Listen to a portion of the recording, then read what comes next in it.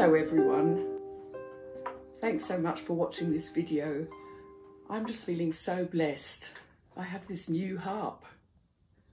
Another new one, I know.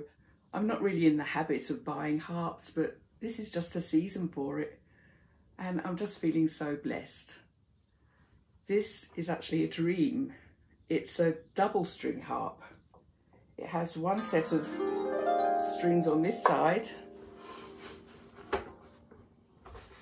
and one set of strings on this side. I heard one about four years ago and fell in love with it. And here it is. It comes with a stand, which I'll just lift up so you can see it. It's, it makes the stand like a floor harp. There's 22 strings on each side and I have levers here which are both on each side as well. For those that don't know, levers actually help are necessary for Celtic harps so that you can get different keys.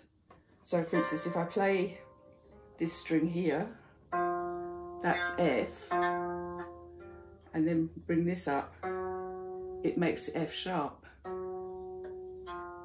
So this is G,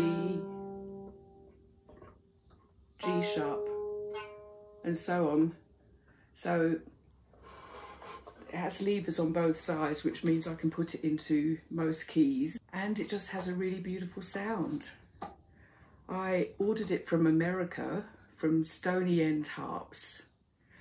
And it took 10 days to get here, which was so quick, I thought.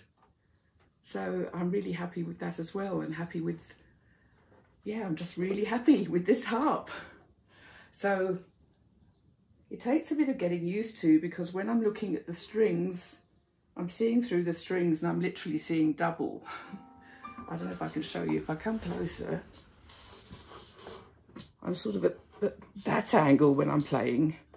So I'm actually two, seeing two sets of, sets of strings, which is taking a bit of getting used to. I'll get there, I'm sure.